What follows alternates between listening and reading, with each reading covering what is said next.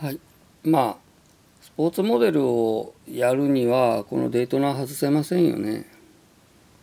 まずこの、まあ、デイトナですけど6263です。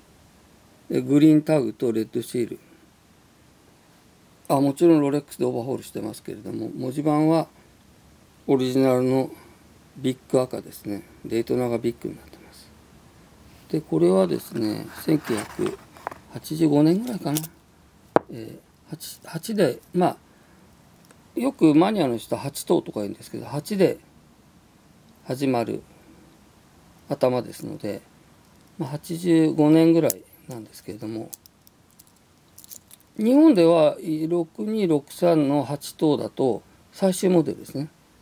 あの R 版っていうのは6265で終わってますんで6263は最後輸入してませんでしたんで。まあただこれはですね US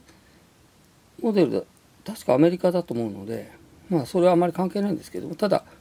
まあ、デイトナのうん8頭になるとちょっと大きいです。70年代とか60年代の、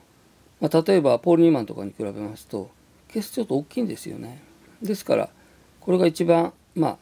ポール・ニューマンがすごく高いっていうのは分かるんですけれども、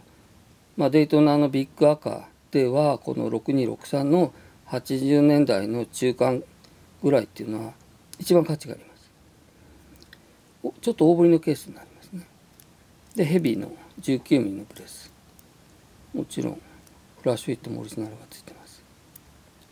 これも非常に、あ、これもっつうかこれが一番希少なモデルだと思いますね。まあ世界中のコレクターが6263をあるいはポール・ニューマンのデートに集めるんですけども。まあその中でもまあ、ポール・ニューマンを除けばこの黒黒ベゼル黒文字盤のこの最終モデルに近いモデルは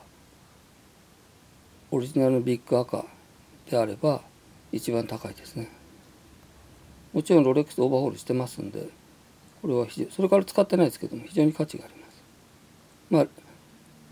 オーバーホールしてるってことはロレックスにレジストしてありますんであもう名前がロレックス入ってますね私の名前が。はい。6263でした。まあロレックスの王者あるいはスポーツモデルの王様とか言われてますけど、まあ、確かにスポーツモデルの中でもロレックスの中でも大変希少なも